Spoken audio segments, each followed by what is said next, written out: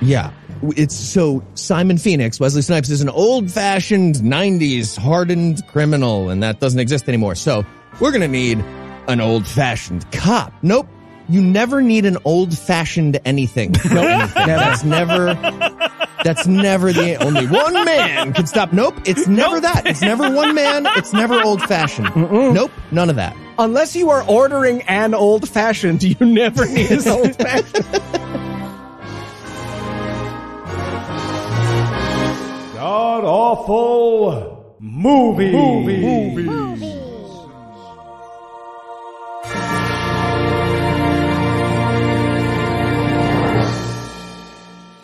Welcome back to the Gamcast, where each week we sample another selection from Christian cinema, except not really. Sometimes we apparently watch movies that aren't religious or awful because Heath only has the one celebrity impression. I'm your host, Noah Lugeons, and sitting 700 miles to my immediate left is my good friend, despite how I just introduced him, Heath Enwright, Heath? Welcome back. I'm so happy. it's this is so good bad. This is like the goodest good bad good bad. Yeah. Loved it. So good, bad, in fact, that it could be described as good, good. And sitting 900 miles to my northeast is my bad friend Eli Bosnick. Eli, how are you this fine afternoon, sir? I am amazing, Noah. Good to know. And tell us, Heath, what will we be breaking down today? We watched Demolition Man. It's the story of a futuristic paradise of peace and harmony in 2032. With no guns, no murder, no disease. Everybody's happy and healthy. And libertarians live underground in a sewer. I loved it. Yeah. I loved it. But then a white cop from the 90s ruins the whole thing. Yeah, Yep. they had a habit of doing that. Otherwise, I loved it. and Eli, how bad was this movie? I'm gonna say. Well, if you love the Joe Rogan podcast, but he's not explicitly racist enough for you, you will love this movie. I loved this movie. This is like learning your morning cartoons were North Korean propaganda films, the movie. Yeah, I loved it too, but I did not remember from, you know, age 11 or 12, whatever it was, that it was a really strong Atlas Shrugged message throughout. I, I didn't catch that part when I was 12. So, I- you know, as as I think I've made clear, I'm going to be defending this film against Heath and Eli's unwarranted attacks throughout, with the exception of Wesley Snipes' Chinese noises that were quite problematic. That was weird. Dang, he got it. He beat us to it. With the exception of that, uh, I'm dying to know what part of this movie Eli's going to pretend was racist. So, is there anything you guys want to nominate this one for being the best at being the worst at? Well, the paradise was ruined by a, a black guy from 1996, and then the white savior cop from 1996 fixes the whole thing. It, it's got a few problematic moments, but I it, I loved it. I loved it at the time. I'm going to go for best worst. I'm going to go with best best prophecy. Ooh. This entire movie is a prophecy. It it nailed. It's like the Neal Stephenson of movies. It got everything right. It really did. everything happened. I have so many notes about exactly that. About like, wow, they nailed that one too, huh? so I was going to go with best worst effort and a Schwarzeneggerian one liner. That is the subplot of this fucking movie. Is Syl- Sylvester Stallone desperately trying to have an "I'll be back" or an "I let him go" kind of moment, and failing so hard. At one point, Wesley Snipes says, "I'll see you in hell," and Sly Stallone says, "Not." Yep. I, sh- I swear There was a God, knot? That's the Mhm. line. There was a knot. I had to go back and check it on the fucking subtitles, but yes, that's the line. Wow, I didn't remember the the Schwarzenegger, you know, reference either. I just remember they talked about him. I don't remember a line from his either. Wow, yeah, Yeah, there's a, there's a few times in this movie where it seems like Sly Stallone is being surprised with opportunities for one-liners. Yeah. right. It's like, oh, you're dangling me over a pit. Uh, don't get pit down. Fuck. God, I, I gotta start reading the script. Did I make cliffhanger yet? Uh, I'm gonna go with best worst dystopia. Mm-hmm. The thing that is most disappointing and scary about this movie, besides the six seconds that Denis Leary is allowed to talk and remind me that we once allowed Denis Leary it's to the talk, fucking worst. Ah. is what the 1990s were afraid of. yeah, We'll get to it. They get confused by themselves so many times. By the way, was Denis Leary funny? Never. Was he funny then? Never once. His entire bit was talking really fast and giving out lists and making people think there must have been something funny in there that they missed at some point. That was all he ever did.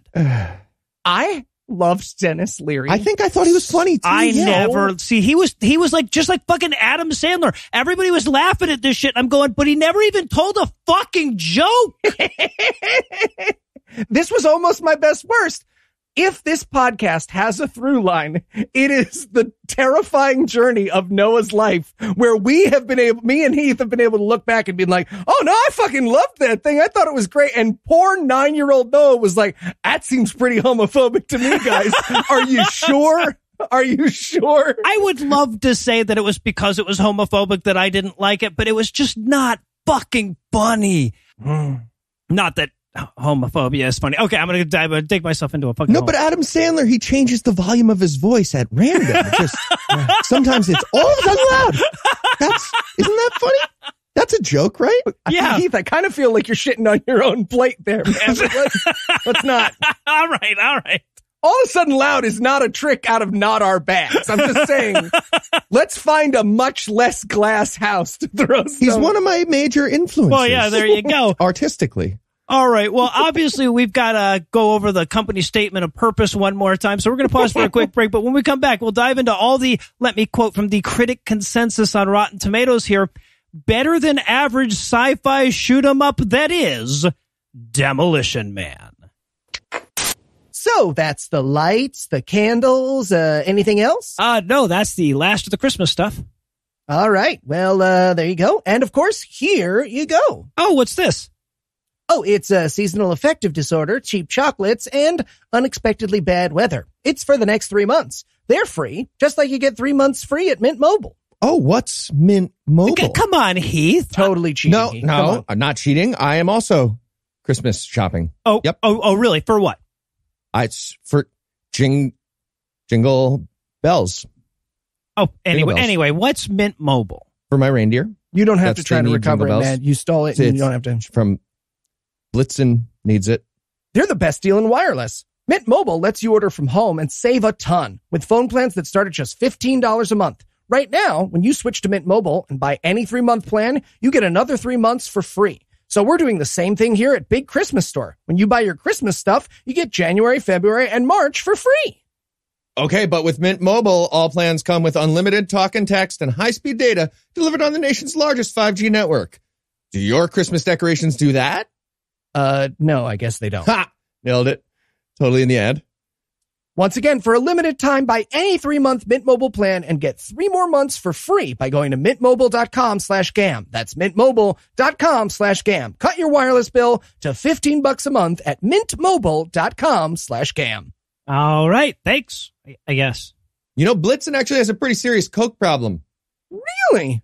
I, I honestly, I thought that would be Rudolph. Nope. Blitzen. And so I say to her, consent. What does that mean? You want to get paid? And did she? That's the thing. She wouldn't say. She just, uh, maced me. Hey guys, hey guys, I'm late for our big pitch meeting uh, for the next Sly Stallone movie. I just, I'm sorry, I had the worst morning. Oh, Oh. yeah? What happened? I, oh, so I'm, I'm in a traffic light and there's this black guy in front of me. I hate that. Dave, you're supposed Oh. to wait until I said what he was doing. Oh, right. Yeah. Sorry. Go, go Anyway, ahead. so there's this black guy in front of me and he's listening to his music super loud in the car right in front of me. Oh, I, I hate It was- that. I hate there. Right. That That's Sorry, the, and and I just thought to myself, like, you know what? That's what the city is becoming, right? It's just overrun by black guys with loud music, and the cops in this town are too much of a bunch of pussies to do anything about it. Yeah. Yes, that is correct. It is 1993, and cops are way too easy on people of color right now. yeah. Absolutely. Totally, especially here in L.A. Oh, anyway, so uh, what, what what should this movie be about? Wait a second, guys. It's so obvious. Yeah? We should do a bunch of cocaine. Cocaine. Yes. Yes, love it. Yep. Yes, Call him my guy. And we're back for the breakdown, and we're going to open up on L.A. in 1996, which looks a lot like L.A. in 1992. Yeah, this was made moments after the LA riots and the Rodney King incident. Yeah. There's moments. Yeah. This pro 1990s LA police movie. I love too this silly ass uh, line because they've got to like stick in the exposition. This was made in '93, right? So it's not like '96 was the distant future. And the pilot's like, "You remember back when they were still landing commercial airlines in this city?" And it's like, in your own movie, that's two fucking years ago, max. Right? You, do you remember the year before last? Yeah, man, we all remember. I say, boy, do you remember the Pepperidge Farm? Remember? also, I just want to point out that they're being shot at by a seven-year-old making gun sound effects with his mouth. yes. I don't know when Foley evolved between 1992 and 1999 or whatever, but yeah, they got better gun sound effects in the last few years. We were still in the PQ PQ days for sure. Yeah. Yeah, were were people shooting laser guns in this moment or like plasma cannons? what was happening? It looked like Star Wars. They were shooting patoo patoo guns. Yeah. This is 1996 is the setting of, the, of this moment in the movie. Yeah. And so we meet Sly Stallone. He's on this police helicopter going to get Simon Phoenix. And you know he's the bad guy because Sly does the whole like Bond, James Bond formulation with his name. It's like, we're going after Phoenix, Simon Phoenix. yeah, and he yells his name when he jumps out of the helicopter, so you know it's personal. Okay. This method of exiting a helicopter does not seem optimal to me. None of it. No. Nope. That is correct. Strategically speaking, I have a lot of questions. Right. First of all, you don't like scream, I'm sure going to catch you by surprise on your way down. Right. yep. He also appears to be on a bungee. That's so. He was. Not a great way to reach a surface. I feel like. But here's the thing. He wasn't. It just stopped when he got to the end. right? Which would be the same as just jumping out of the helicopter. Well, to be fair, Sly Stallone is immune to bungee as he. Oh, there you um, as evidenced by his face, elasticity does not work around I Sly see. Stallone. Okay. No, that makes perfect it sense. does not. it's his mutant power. And a bunch of henchmen are just like, hey, there's a cop screaming the name of our boss.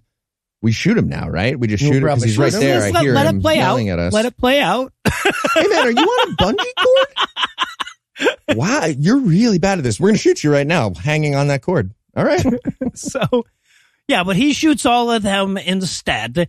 Then he gets down where, like, he goes downstairs to where Wesley Snipes is. Yeah. And he's got a very quick monologue he has to give here, right? Stallone's acting style, I would describe it as speed run of a video game as acting. Yeah. yeah, no, that's this is this glorious period of movie history where Sly Stallone and Arnold Schwarzenegger were the biggest movie stars in the world. And nobody knew why, and nobody could stop it. It was a runaway train. They hated it. We hated it. Everyone in ha- everyone hated it. No one was on board except for me watching ABC when I was sick as a 15 year old 10 years later. But like nobody was on board, and somehow we were all just going through the bases, Oh, ah, letting this train run out of loved it. so yeah, so but while he's giving his monologue, he reveals that Sly Stallone is standing right in a big puddle of gasoline. That's not. I'm, none of this is how gasoline No, works. When- you No, know. he holds the fucking blowtorch like an inch over it, like, ooh, don't make me dip this into the gasoline. Dude, that's not okay. he does the thing that actually would have been a problem. Right. That's really interesting. Yeah, he'd be in a cloud of flames at this moment. Yeah. yeah. But then he actually lights it and, and everybody's just like, oh, we better move away from that. And then they just very gently move away from the small pool of gasoline. It's the fucking best. That, hey, that trope, I wish that had stayed in movies. Just like, if I drop this dead switch, I'll catch it. Yeah. Oh, Right. That's, that's it. fuck. Can we talk about what he's wearing at this moment Sure. as well? Sure. His, Yes. his his wardrobe throughout this film deserves a mention. Sure. What is going on? He is dressed like what your racist grandma describes Dennis Rodman as wearing. Okay, that's that's amazing because Dennis Rodman actually based his haircut on this haircut Yeah. that Wesley Mhm. Snipes has in this movie. Yeah. Yeah. So at some point they were like, "What do bad guys wear in the distant future?" You know, like three years from now. Right. Uh-huh. And somebody was like, "Leather clown stuff." Leather Yep. clown stuff. Exactly. Yeah. Okay. Nailed The- it. what if you had to make an outfit for the Road Warrior out of fanny packs? All right, I'm on it. We'll do that. Hammer pants biker on so hammer pants below clown hammer and then top half is biker. Got it? Like that? Yeah. So yeah, but so they have their little fight. Eventually, Sly knocks him out, and he has to like fireman carry him out of the building, and the building explodes because fuck yeah, the building explodes. Oh, and it is this, my friends, this is the 90s. They just did that. They just blew up. That was a school. That would they just blew up a school for this movie, and kids showed up the next day, and they're like, ah, I guess we're off. Damn it. yeah, no, they, they really blew up a, a building for this one. That's an entire chapter of Syd Field in the 1990s edition. It's just like, Yeah. there you go. How do you spell that? All right. So now it, it's post explosion. And of course, the captain is chewing Sly out for being such a damn maverick. Ah, and it's weird sometimes to look back at these movies and these tropes because you wonder if the people making the tropes knew, right? It was like, ah, damn it, Sarge, you, you know, I'm the chief and you're the rogue cop. All right, goodbye. Ah, But doesn't that say everything about the 90s that you need to know? The universal hero in our movies was police officer who doesn't give no shit about your civil liberties. yeah. Remember when cops getting in trouble was a possible plot for a movie or even a conceivable reality? Right. That was fun. Yeah, because they're like, oh, you know, 30 people got killed when you blew up that building. And I'm like, mm, I don't know if they're going to convict on that. Those kids made him feel da- he, he felt danger. He felt danger. Yeah. to be- Yeah. To be fair. If this movie was made now, they're just flash cut to them planting guns on all the kids in the bus. It was- they The kids were had trying to take away my C4. Right. I felt threatened. So yeah, but so that's the inciting incident. He blew up the building and it turns out there were hostages in the building and they all died. So he's going to jail right along with Wesley Snipes. Fuck yeah, he is. And then of course we have to get the obligatory Sly's ass scene. So this is where he's cryogenically frozen. I feel like that he, that's got to be a contract thing like Vin Diesel not losing a fight. Sure. It's Yep. in every single Yep. one. Yep. Mhm. Well, not the more recent ones. At a certain point, he let Yeah. that go from the writer. I feel like the ass is like behind the knees at this point. Yeah, so maybe when he they- let it go. They needed a wide range lens for it, and he was like, "Okay, you don't have to Yeah, show actually, it yeah, no, anymore." Think If about it's moving downwards at the same speed as his face, it's but it's ankles maybe. It's rough. That, yeah, right. This is also the scene where I began to suspect that maybe Sly Stallone didn't have a script because the warden guy, he's doing the like, Sylvester Stallone of the 477th precinct, you are found, and he's just roasting him the entire time. Like I'm trying to get through a monologue on D and D fucking minus. He's just like, skip it, shut up, don't care, nope, boo, whatever.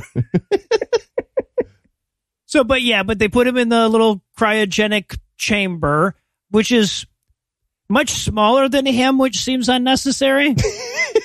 Yep. the best. 'Cause at one point they put him in this thing and he's naked for no reason. Because you like have to see his ass. It's in the contract. Oh, contract, sure. But then he, he has to like, they start closing the top and they're like, you duck down, you have to duck down. You have to. It's And we not, made it smaller, made smaller than a person. That's the worst part when they make you hunch down into your own cryo goo chamber. He has Yeah, to like I would not. crawl into the corner like Right, fucking right. Gollum. I would just stand there and it would just bounce off of me over and over again. Like this. Stand clear of the closing doors, man. God damn it. You're being a, don't do this. You're being a We're dick. all going to be late now.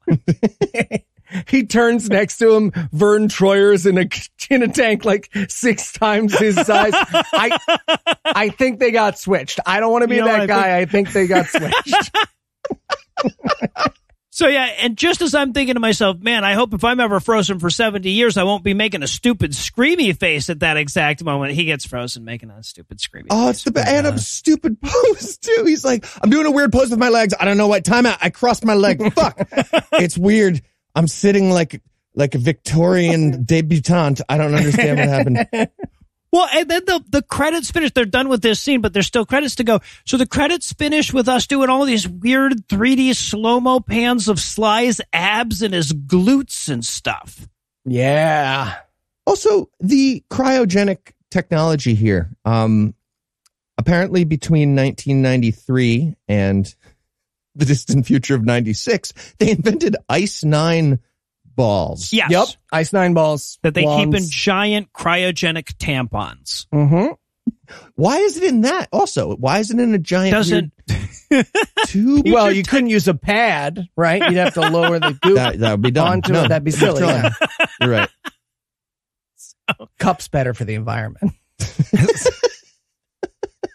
All right, so then we pop forward in time to 2032, the distant Sandra Bullock. future. Sandra Bullock. Um, yeah, Sandra Bullock. She is so fucking cute. She still is, but like, I just, I'm, every time she shows up on screen, I'm just like, she's so cute. She's delightful. Yeah, She's a, a delight. Sandra Bullock appears appears to know that she is Sandra Bullock and just has to get through this part of her life. Like if Sandra Bullock came out tomorrow and was like, "Hey, sorry everyone, I'm a mentat. I've actually always been able to see all of time and space, and so it was really hard for me to do Demolition Man, just knowing that like my whole career was ahead of me."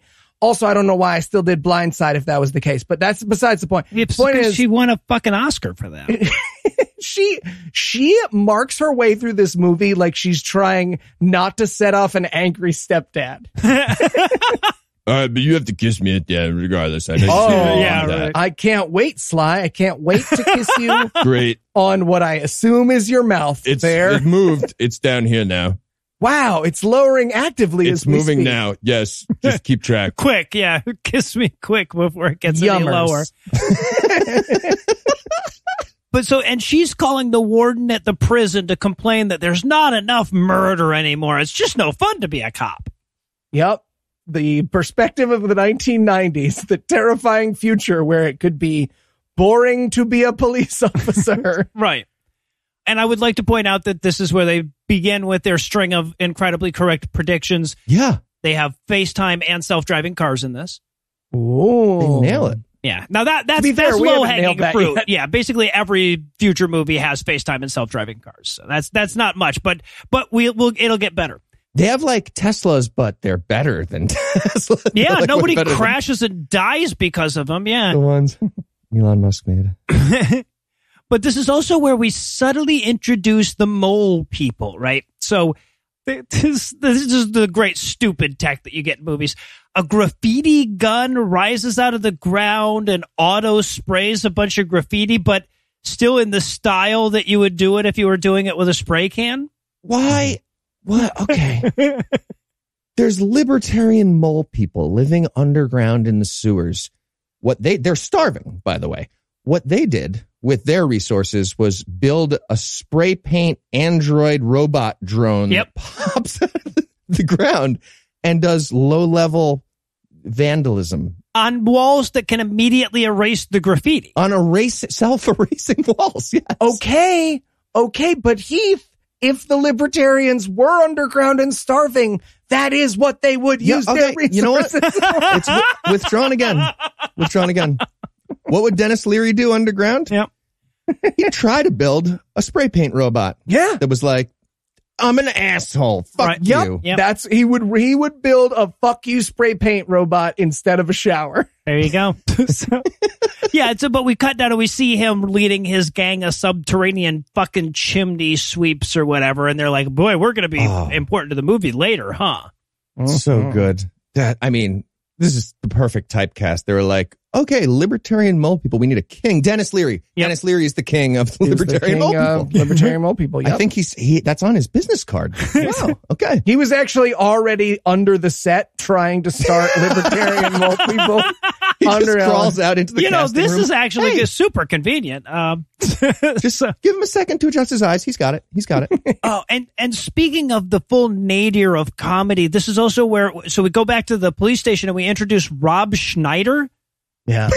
the only person in this movie for whom the future should have terrified him. Okay. I will. I'm going on record. I did not like Rob Schneider then. Don't like him now. I. This was one of the few that I got right. Okay, that I was like, all right. This isn't funny. Yeah. He's not funny. Nope, he sure the fuck isn't. Loved Rob Schneider. No, you loved didn't. him. Yeah, you, you, loved want to know him. something? No, you didn't. So Loved him. God damn it. I was Deuce Bigalow, male gigolo for multiple Halloweens. Oh Jesus Christ! I could vote when I was Deuce Bigalow, male oh gigolo please, for Halloween. See, this is why Ah. democracy doesn't work. right? Yeah. exactly. Yeah. I'm gonna raise that age to. Yeah. there, but before the internet go I, my friends. How old is Eli? Just like two years older than Eli is now. So yeah, so Rob Schneider is there. He does so little in this movie too. Like even for Rob Schneider, Well, I mean, yeah, he's showing off his chops as a three second extra in a sketch with somebody funny next to him. right? Yeah. In this case, Sandra Bullock. well, yeah, exactly. And I want to point out that this is where they predict that we will be avoiding physical contact. This they do their not quite handshake. Yeah, they do the, like the Romeo and Juliet kiss thing instead of the high five. Yeah. hmm Or no, the, the Rosalind, the Romeo and Rosalind kiss. Okay. Deep cut, act one. So Right, Eli? Right? Shakespeare? No, Nailed it. not in the movie. It's fine. Yeah. yes. It's not a movie. I'm talking about a play by William Shakespeare. They do allegedly. a high. They do an almost high five and then do circles around it. You're saying that's in Romeo and Juliet? Yes. I don't. Wow, Eli doesn't know this. Read a book. so I'm so happy right now. That is in, yes, it's in Romeo and Juliet at the beginning. okay. So Sandra Bullock is um still complaining that there aren't enough murders and assaults. Damn it. Yep. She's she's brought this to the general police force. She wants this. Guys, come on. Yeah. and of course, this is also where we introduce the fact that whenever anybody cusses, there's a little robot in the back that that finds them for it. And I'm like, bots policing our language nailed another one. Yeah. hmm They really did. Amazing. Uh, one thing they didn't get quite right, I guess, but I, I'm looking forward to it. In 2032, everyone's going to talk like a like an incel yoga instructor for the most part. Yep. I don't know why that would be the case. This is one of those times where like Sly Stallone was like, "I predict the future," and they let him do it. They let him write some of this. I think. I gotta feel like this weird thing that they and and they still do this a lot. This idea that somehow in the future we're gonna lose contractions. That is the opposite of uh-huh. how language works. That's like when they show the moon partially blown up. That is to linguists as the moon partially blown up in the fucking background is to astronomers. Yeah. So stupid. Yeah. And so we're in Sandra Bullock's police officer office, right? Yes. And mm-hmm. she's Lieutenant Huxley, by the way. Lieutenant Lenina Huxley at that. Yes. So, All, all Aldous Huxley. author of Brave New World and main female character in Brave New World. Read a book, nailed it. So she's, she's got this office full of like 90s stuff because she's a big fanatic about the old timey 90s. And that's represented in her office by a snake in a can that pops out Mhm. and scares her the peanut brittle top thing. partner. Yeah. Mhm. Benjamin Bratt, and also a samurai sword on the wall and a poster of Blood Sugar Sex Magik by the Red Hot Chili Peppers. Yep. Uh, she's also she also got a uh, lethal weapon. Yes, poster, Lethal too. Weapon 3, no less. Wow. Well, and that's what I love about it is they keep saying, wow, you sure are into the 20th century as though the 20th century was 1993. you know? Mhm. Yeah. That's how I think of it. the to be fair. whole century. Yeah. Okay. So then we cut to Wesley Snipes in, in the prison. He, it's time for his parole hearing. Okay. Okay. Quick thing. Uh-huh. Uh, parole for good behavior. it doesn't really make sense.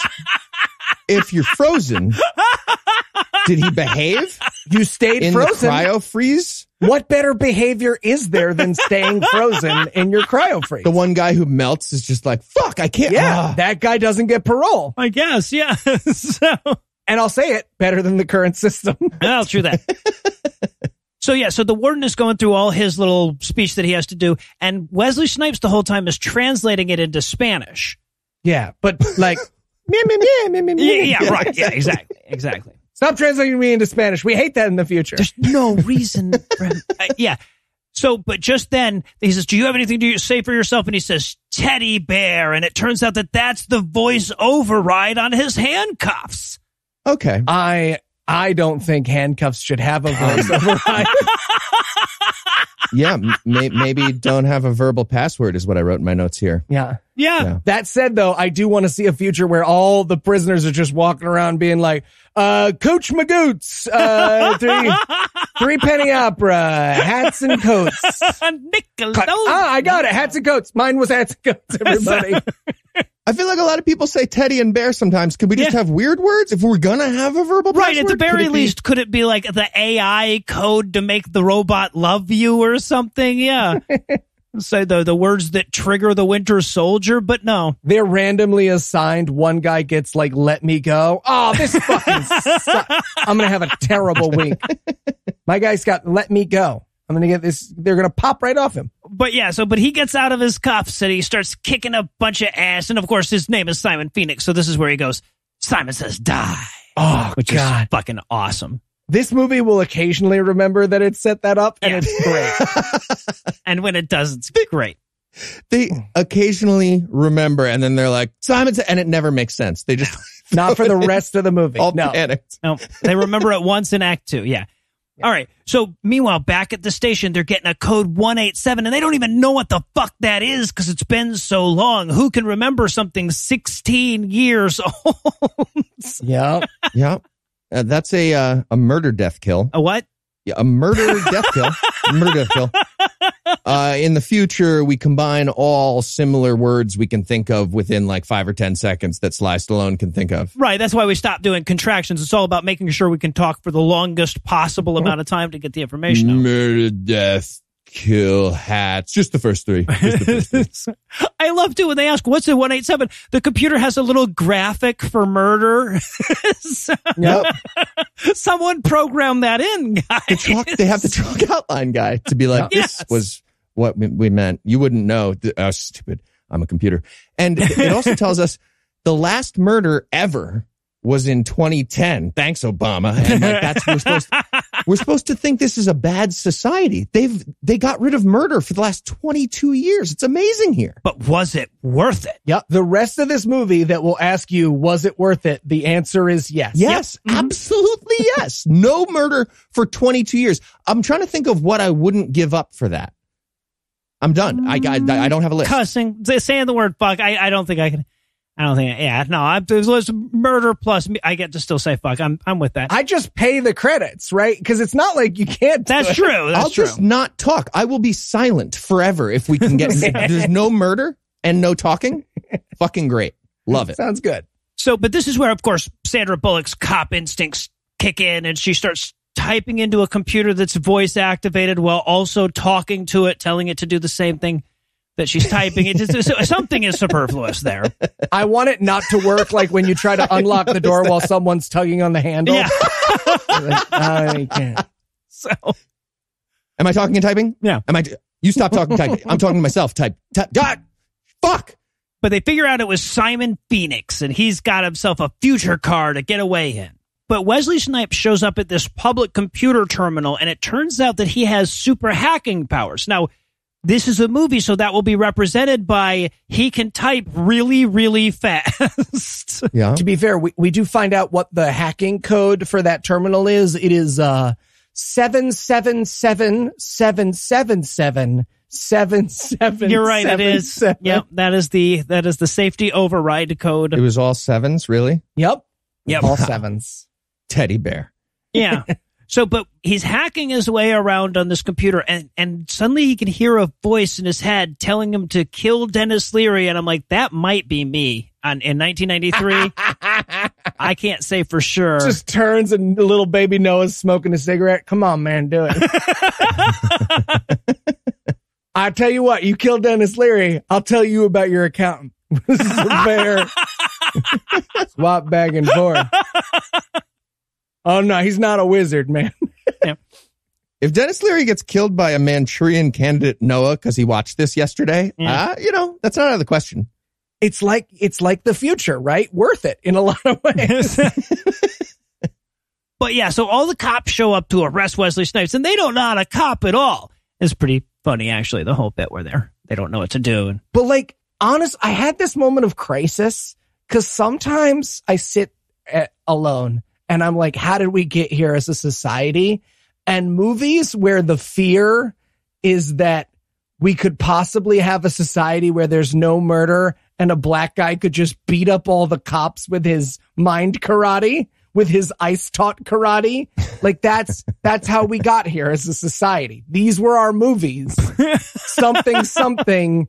Kyle Rittenhouse is acquitted of all charges. Okay. Like I see, Yeah. I see the line. See, this is why we need critical race theory in schools. Absolutely. there you go. Th- like th- this is the theory of this movie. Libertarians made this movie think we're going to like lose guns and then cops are going to forget how to use guns and then they're going to forget how to police anybody. And then sarcasm and contractions are going to go away because of critical race theory. That's what they're saying. Is that Yeah. what they're saying? In though? 16 years. So, well, we better enjoy it while we can, I guess. But yeah, but Wesley Snipes refuses to be politely arrested and instead kicks all the cops' asses. Yeah.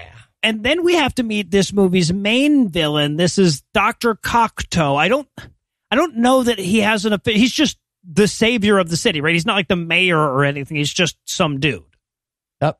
He's just the liberal, gay coded Yes, guy. uh-huh. Yeah. Yeah, he's he's John Cocteau. They, I mean, they do a bunch of name shit. This is like Huxley. This is John Cocteau, the French Yeah. artist. Oh, okay. Yeah, right, right. Yeah. And he's dressed like a Jedi samurai, which is nice. It actually looks good on him. Yeah. It does though. He has a very strong gown game, and I think maybe that's why he's in charge. He has the strongest of the gown games. He does. I would say. Yeah, he does. He's also FaceTiming all of the council members, Mhm. but but it's one of those future predictions that they always get wrong where like every FaceTime needs its own camera and chair, Yeah. which is just a super poor use of space. Like they would have known Right? that back then. No, because they want to still have a boardroom. Why would what, what what what would they do with it? Guys, we, we can sell the really long table too. In fact, we could just use this room for ping pong or something. Like so many better things we could do. So many activities. Look at all the space we have. Did we just become best friends? So yes. So yeah, but he and he's telling all of them that he's had enough of Denis Leary, and I'm like, I am so with the bad guy in this movie in so many ways. Again, it's like slowly pans over to baby Noah in the corner. Now this guy knows what he's fucking talking about. All right. So, and then we also have to meet his assistant. Now, according to the IMDb trivia, this character in the novelization of this movie that apparently exists and Heath is getting for Christmas is identified as being a eunuch. There's a novel? yes, there's apparently a novelization What? of Demolition Man. Okay, you're not you're not talking about you're not talking about the like Eastern European novel that they very clearly stole this entire No, movie uh, from, no, right? I'm, I'm talking about the post movie coming out novelization. Yeah. Wow, just to add insult to injury, they're like, and now we write a novel that we you you didn't do anything. You Yeah, did not right. help. We had both. We did both. This is your next citation needed episode, Heath. The novelization. The novelization. And you know what? No jokes. None of our jokes. If anyone goes to interrupt with jokes, you say, shut the fuck up. And then This you just fucking continue serious. to describe. and I just read it you just read word for word. the, ni- it's a seven and a, I don't know how long that audiobook is. It's a seven and a half hour long episode. So, That's my April Fool's Day joke this year. yeah, there you go. but yeah, so we meet him and then we cut back over to Sandra Bullock who says, Hey, wasn't he in jail when this all started? Why don't we just do whatever you guys did that ended him, him being in jail in the first place? And old timer cop is like, for that, we're going to need Sly Stallone. Yeah. It's so Simon Phoenix, Wesley Snipes is an old fashioned 90s hardened criminal, and that doesn't exist anymore. So we're going to need an old fashioned cop. Nope. You never need an old fashioned anything. No, anything. That's never, that's never the only one man can stop. Nope. It's never that. It's never one man. It's never old fashioned. Nope. None of that. Unless you are ordering an old fashioned, you never need an old fashioned. Well, right, and of course, Sandra Bullock is a big bitch. She was a big fan of police violence. So she has she cues up a video of Sly Stallone's greatest hits from back when he was a rogue cop. Okay, thank you. We need to talk about this this greatest hits reel because at one point he's carrying a little girl out of some wreckage, and the reporter says, "Why would you destroy a twenty four million dollar mall for a little girl whose ransom was only ten thousand dollars?" You lady. Now, okay. Luckily, that little girl does tell her to fuck herself, and that is great, hmm. and that is good, and should the be in every movie. But I, the question very much upset me. I laughed for a while at this little girl being like, fuck you, lady. Yeah. he saved my life. She's, she's going places, whoever that is. That I hope it's that like eight year old actor who improvised that line and they were just like, wow, keep that. Yeah, keep That's it. Amazing. Brando, first take. Lister, I have petitioned my co-hosts for years to let me have a soundboard. They have said no, probably for good reason. That's why you're still here. but I would add "fuck you, lady" to Oh, my hell yeah. soundboard if I had it. That's That and Baba Booey would be half the podcast. if You're not getting a soundboard. right. It'd be the Well, uh, apparently I need to renew the no soundboard clause, so we're going to take a quick break, but we'll be back in a flash with all the prophetic ass kicking that is Demolition Man. Boing. I Don't get stop boing. My wife would be in there. My wife. Yes, I'd get that one. Height of humor. The the Sean Penn Yeah. Oh, yeah, yeah. Obviously, it's that one. and this one is the lima beans. Lima beans. Why would we need that? Uh, for the lima dude, obviously. Hey guys, what's uh what's with all the pills? Are we checking to see if God's not real again? Because I told you guys I need a weekend for that, and you can't just surprise me. I need to he- plan ahead. No, Eli and I got to thinking about this week's movie and all the future stuff that's in it. And you know it's just a matter of time before there's food pills. So we figured, why not get a jump start on that, right? Look, guys, if you want to make meals a breeze, why don't you just try HelloFresh? What's Hello Fresh? With HelloFresh, you get fresh, pre-portioned ingredients and seasonal recipes delivered right to your doorstep. Skip trips to the grocery store and count on HelloFresh to make home cooking easy, fun, and affordable. That's why it's America's number one meal kit. I don't know, Heath. Noah and I are awful picky. Well, HelloFresh offers 50 menu and market items to choose from every week, including vegetarian, calorie smart, and gourmet options, providing plenty of variety. That does sound awesome. Okay, so where do I sign up? Just go to HelloFresh.com slash awful14 and use code awful14 for up to 14 free meals and three free gifts. So I go to HelloFresh.com slash awful14 and use code awful14 for up to 14 free meals and three free gifts. That's right. It's HelloFresh, America's number one meal kit. Thanks, Heath. Also, those aren't food pills. Uh, I think those are Eli's leftover Tamiflu. Oh, we're going to be sick, huh? Yeah. Yep, I would say you'll be very sick. Uh, Mr. Bosnick, welcome to the year 2032. Wow. Everything's so cool. Yes, but I must warn you, everything is much different now. Oh, yeah? How so? Well, uh, first of all, there hasn't been a murder in 16 years. Wow. That's that's awesome. But- that's really great. I'm afraid you won't be able to eat meat or swear. Oh. Um I mean that's that's kind of lame, but okay. Uh, I guess really? Okay. won't- Oh, also, also, all the music is commercial jingles. again, I I personally find that pretty lame, but I guess if there's like a murder-free society, we could probably discuss the music thing at some point. Wow. right? Like a- You're you're taking this really well. Yeah, no, no, I could see how people would would not enjoy this mildly, but I mean, no murder is definitely worth jamming out to the "By Men" and jingle. No, I no, I, I meant that your podcasting partner, Murder Death, killed like four people when we told him about it. Oh no, that tracks. That does track. I'll do more. Get me a burger, by the way, Yeah, that and scotch. Mhm. So many more. And we're back, and we're going to rejoin this movie in the dry ice slash ambient smoke room where they're Mhm. thawing out our hero John Spartan. Oh, if they don't do the super long P like they did in Austin Powers, they missed their opportunity. That's Right. all I'm saying right now. Well, I love to because we see on the computer they've got this laser cutting him out, and it's cutting him out two dimensionally, like he's a paper doll. like I, I wanted there to like they get done, there's still ice above and below him. They're like right depth. Shit, shit. seems like you wouldn't need a laser for ice. It's, It's ice. right? Just, that's we cut ice long before there were lasers, I, I believe. I don't even think you have to. Or just yeah, you melt don't them even out. have to. Why not? Why does it have to happen? It, like just Heat melt it. Happens. Someone just takes Sly Stallone out into the parking lot, and throws him on the ground. oh God, this fucking hurt my shoulder. Ow. So they wake his ass up. I love that it's it's fucking it's a stupid ass sci-fi movie, so they have to get through this quick. He's like, "Wait, it's been like forty years. Is my wife dead?" And they're like, "Yep." He's like, "Oh, I'm gonna get over that disturbingly quickly, aren't I?" They're like, "Yep." Well, here's what's crazy, and this is going to bring me to my fan theory that Sandra Bullock is his daughter. He's like, "What about my daughter?" And they're like, mm. and he's like, "I will never follow up on that. Don't worry about it." Okay. Well, they they wrote a daughter plot and then they cut it out for Yes. time because it was too slow, but they, the way they cut it, they're fucking idiots. So they definitely made it seem like she's the daughter. And then they, you know, fuck later. So Yeah. bananas. Well, so I, I read somewhere that the reason that they cut it out is because ultimately that leaves him having sex with a girl that's the same age as his daughter, and that like test audiences didn't like that bit.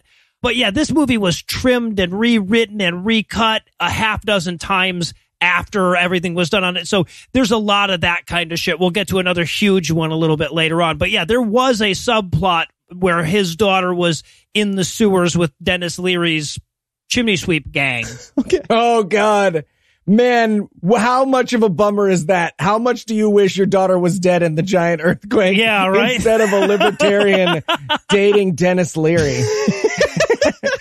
Oh, and uh, of course he wants a cigarette, but cigarettes are illegal. This is back when they would actually like say the name of the brand of there were cigarette product placements in this, Oh, fuck yeah. but cigarettes are illegal in this world. He says, "Are you shitting me?" And then this is where he learns uh, uh, that uh, cussing is also illegal in this world. Yeah. Yeah. Smoking, drinking, meat, chocolate, gasoline, Mm-hmm. spicy things. These are all illegal because of the critical race theory. Yeah. They also mention that abortion is illegal, but so is pregnancy without a license. Yes. So I like I get what they're going for. That's like the one thing that they like libertarians can get me on is like, well, it's freedom of choice. Yeah, okay. That is a libertarian thing, sort of fine. But if it was illegal and you had to get a pregnancy license, I might like, you know, I have mixed feelings about that. He's coming around. He's coming All around. right. He's he's got some hot eugenics takes for our comedy podcast. I was reading up on the Supreme Court recently. I don't know. They're making some good points. Oh, How Oh, many Jesus. generations God. would you say is enough, Heath? Fuck. this is, Thank that you. was a, a bit, everybody, Yeah, it was- just now. total bit. So yeah, but so then this is where Sly Stallone goes to meet all the other cops with just an ass full of shit residue. Apparently, where we introduced the three seashells. The fact that he just walks out with his poop tush is a real alpha move and really descriptive of the 90s. Right? if somebody walks over to you and they're fully clothed, they just walked from the bathroom and they're like, there's no toilet paper in the bathroom. They are covered in shit right, Right, now, and they put their clothes back on over it. Unless- That's what's happened in their or they life. washed their ass in the sink, right? Or they have to follow it up with, and I really need to use it. Right? well, right, right. That's. but yeah, but I also want to point out a toilet paper shortage. Another prediction that they got correct yes. in this yeah. movie. This is where they, uh, they talk about the three seashells. mm-hmm. And I just want to say that, like, I know that this movie has been reviewed by other bad movie podcasts and, like, it's been talked about as a bad movie. There's too much dialogue on the internet about the three seashells. I Googled it and there's like a bunch of very serious conversations by adults who could have done anything else with their time being like, here's where I think the three she shells are. We didn't need, the internet was a mistake. Okay. I have a theory about the the three shells that I would like to discuss. I feel All like right. you've kind of poisoned the well. Yeah, on right. theory. But here's the thing. This is the place, not Google. I feel like the part where someone, they had to come to us for the three shells. But we're Googleable though, Eli. We are. Okay. We're all. Yeah, Maybe we are is- part it's of the all Googleable. I veto the rest of this comedy podcast. I guess, I guess the premise of my joke that I'm getting around to is no. Fun. Fun. So What do you guys think of that tee up? You like that one? So, so what's your theory after that weird edit? That's so No. weird that you stopped talking so quickly there. So No. Eli. thanks to all the Patreon donors for the support. You can go to No more jokes. if I was committed to this bit, I would yell no more jokes every time I start of to talk. Yeah. yeah. But we, we hit the so two beat. I'd We're like good. to espouse my theory Mm-hmm. about the three shells. Uh, w- Eli, do you have a theory first? Would you like to go first? Okay, so here's the one I found most convincing online. Is it the one that the writers of the movie admitted was what they had in mind? Oh no! Oh, did they have a theory? Well, I don't. I I- I know that both Sly Stallone and Sandra Bullock have gone on the record saying no, this is how it was supposed to work. I think it's all post facto bullshit, but it has been officially addressed. Oh, Really? My theory, the one I found online that I found most convincing, is they are the controls for a bidet system. Yeah, that makes perfect sense. Damn it. Okay. Mine's dumb then. That's not what it was. You might have the right one. I, I did not think that up. I think there's a way. So, you know, uh, what's the word when you, with the caviar, you quenelle it or whatever? I think it's like that. That's the worst image you've ever put in I my head. I feel like it's, I don't know you what can- that means. hate you. so. I think. I'm not No. fancy enough to know No. special caviar words. Joke veto. No, No. there's three foodies who got that joke and they hate you as much as I do because they know that quenelle is when you take two spoons and you take the caviar and you make it into a little lump. And that's what you're talking about doing with the- poop yeah, like- seashell. I feel like it, and then the third one is to you put the two that you used in it. It's it's just a holder. It's like you know the spoon holder next to the stove, I think that one's for the scraping of what can't get quenelled. and then you pick yeah, and then you pick up. I feel like Yeah. it's a cleanup. Yeah, Mhm. okay, that works. That works too. Yep, that's I believe the official explanation of how to wipe your ass with. Wait, they they say quenelle in their no, official no? I, no, I'm I'm I'm encountering that for the first time just just now. to be fair, if Sly Stallone says the word quenelle, he has to go back to his home dimension. So he avoids it. So, but yeah, glad we could add a little more commentary to that topic. As Eli said, it really hasn't had enough commentary yet. So, okay. So then we, we move on to another Sandra Bullock info dump where they explain that everybody has microchips in them except for Wesley Snipes. Yeah. Yeah. And it was just like, well, this is fascism because he's mad that he has a chip that can locate him in the future. And I was just like, fuck, this is okay. This is a documentary for libertarian idiots. Now. They're, they're watching this now in 2021 and they're like, see, it nailed everything. Yep, and it wasn't and the it's real. I love he says at this point, he's like, well, why don't you just shove a leash up my ass? And I'm like, how would that help? What would the leash be hooked to up He your needs ass? to hold. They can't shove. Is there an anchor in there? Sorry, you got to shove part of the leash up my ass and hold the other part. But even then, if he stops clenching at any moment, you know, I won't, though, You're I getting promise. Your ass is covered in shit, man. Did you wipe? what happened there? Did you, You see Shell? you got a quenelle with them. Did you try to use five post-its to wipe up your 36 year shit from the scene before? Oh, our next vacation, I'm just hearing Heath on the phone trying to convince a guy to get the microchip in it. Dude, you have to use the three shells, man. I got to get back inside. Don't just walk around with your butt full of poop. Come on. It's 11 p.m. Denis Leary's just got shit on. That's his act now. It's just shit everywhere. This is freedom. It's basic freedoms. always been his act. Yeah. Smoking a cigarette. Yeah. So okay, and and this is where they they figure out that in order to get a gun, Wesley Snipes is going to have to go to the museum. And I just want to point one thing out. When they say that, the boss guy is like, Psh, it's in maximum security. Just pin in that Yeah. for when we get to the scene in the museum. Yeah. Uh, also, do museums keep like a big store of live bullets right next to the guns they Cannonballs, gunpowder. In the guns. Yeah. Yeah, a lot of lot of ammunition that you wouldn't think they'd need. But we go to this museum now. I will warn you ahead of time. I have the fucking word brilliant in my notes like eight times during this scene. This is one of the all-time great 90s movie bullshit silly action sequences like ever. Like it, it, it I, I guess all time and ever kind of imply the, the same thing, but this is a phenomenal fucking fight. Right. And I have to warn you that what Noah is referring to is not the racist scenes Wesley Snipes opens this scene No, yeah. with. Yeah, it's rough. Yeah, I no, need to say that so I can still feed my baby. pretty problematic at the beginning. Talking about the cannon. Yeah. No, so yeah, but he's in the, the Hall of Violence in the museum uh, where they show off all the guns and shit. Oh. Oh, we have to cut back to Sly Stallone so he can have his whole I'll drive moment. Ah, but he can't because he does cars too fancy. Yeah. And again, they predicted uh, Tesla that you'd need to push two buttons on the screen to open the uh, glove box. You know, they they got it. Yeah, there you go. There you go. And this is also where we introduce, and, you guys have to admit that this is fucking brilliant. The fact that all the music in the future is is advertising jingles. Yup, it's just great. It's just great. That's good shit. and they're singing along to it's really good. Because of critical race theory, we we only like add jingles in 2032. If you add that I enjoyed it though. And sure. But yeah, so he he gets a bunch of guns and then he's like, "Wait a minute, this is the future. This takes place in 2032. Shouldn't there be some kind of laser guns or something?" And I'm like, "Yes, there should be, Wesley Snipes."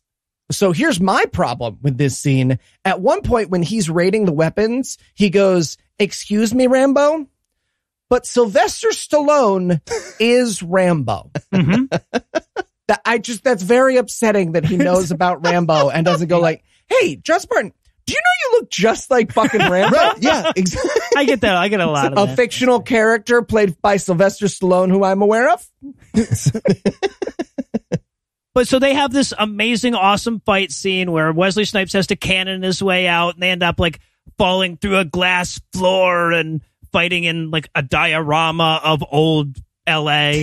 It's great, great scene. This is very awesome. Yep. This is also it probably the best worst action line in all of action movie history, eh, where Sly hits Wesley Snipes with a TV and and yells, "You're on TV!" You're on TV. You're on TV. Yep.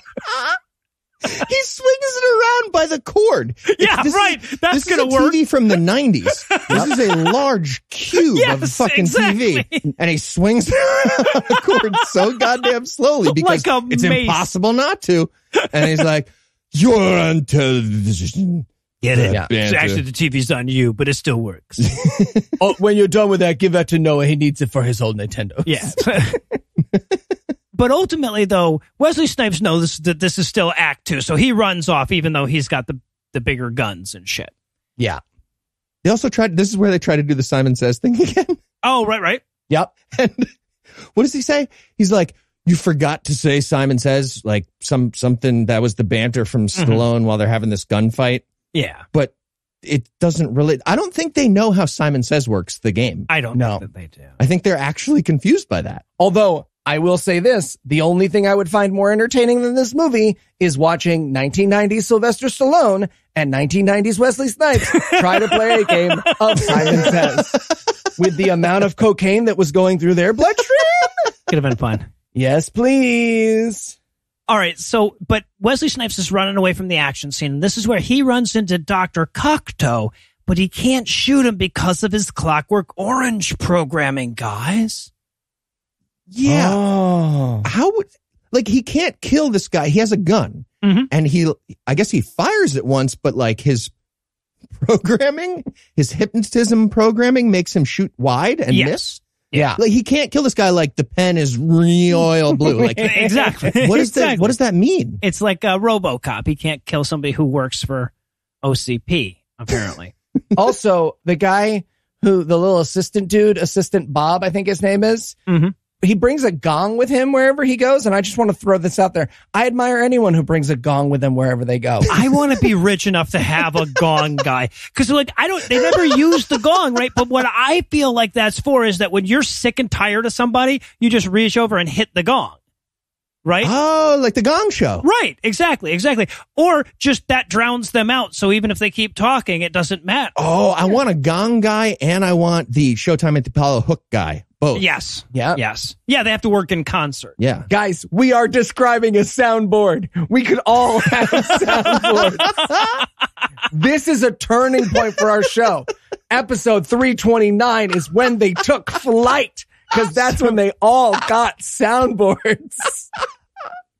All right, so this is this is also where we introduce the ongoing bit that Sandra Bullock doesn't know how to do the '90s isms at all. She keeps getting them slightly wrong and saying that he's matched his meat and licked his ass. And And can I just say, coming from Sly Stallone, I'll lick your ass way more intimidating. Absolutely.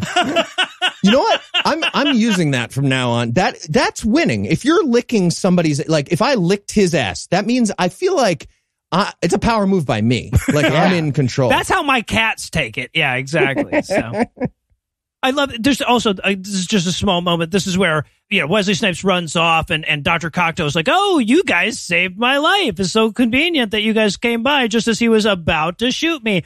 And this is where he invites them to dinner at the Taco Bell.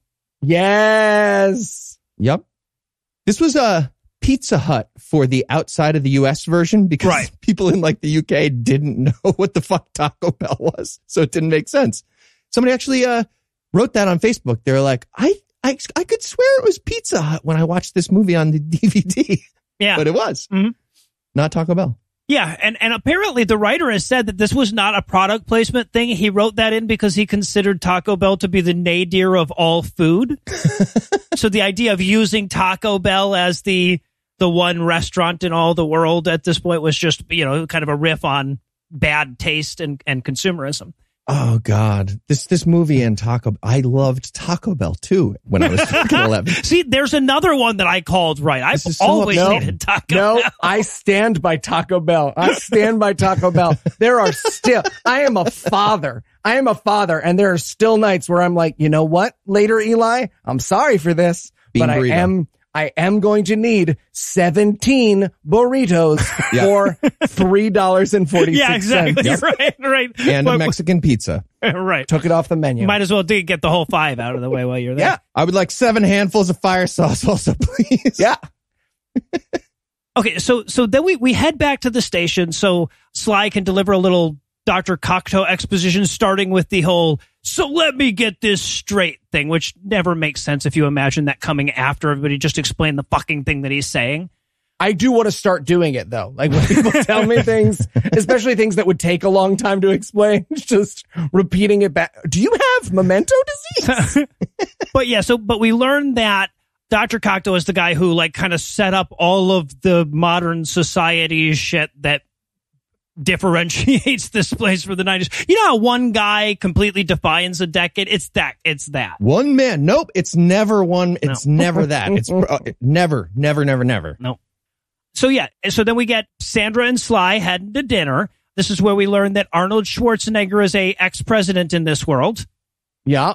This movie is a magical prophet. It got so much right. Got a lot right. Wait, Got is, a lot right. Is there something about Schwarzenegger that you guys know and I don't? I feel like he, wa- could have taken it. He the was gold almost was there. president. He they they considered an amendment to make it possible for him to become president Yeah, after he became true. governor of California. That's true. So yeah, and then of course we- I I have to mention this one very quick scene. Wesley Snipes is heading down into the sewer world where Denis Leary lives, and the, he's not going to do anything there. They just uh, introduced this very quickly. But when he opens up the sewer grate, the man says, and I quote, "I love that smell. It reminds me of biscuits and gravy." Okay. What? That has haunted my fucking nightmares since 1993. Here is the thing. Either Wesley Snipes has never had biscuits and gravy, or at one point, Wesley Snipes was like, Hey guys, you know that biscuits and gravy don't smell like human shit, right? And they were like, we do, We do not, know Say the fucking know line. do you want cocaine with no taxes? Get in the sewer. this really reminds me of biscuits and gravy. All right, let's go. Line it up.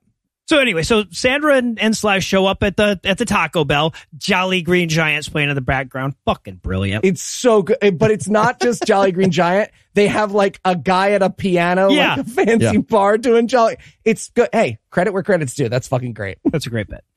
By the way, according to the IMDb trivia, the rock dress that Sandra is wearing throughout this scene weighed like 40 pounds. Wow. yeah. Also, I just want to point out that they do like the meal and sli- it's supposed to look gross, but it very much looks like a meal Heath and I would wait online for six hours Yeah, for. So, sure you know, did. like a, another prediction that came true. I actually wrote in my notes that deconstructed taco looks really good.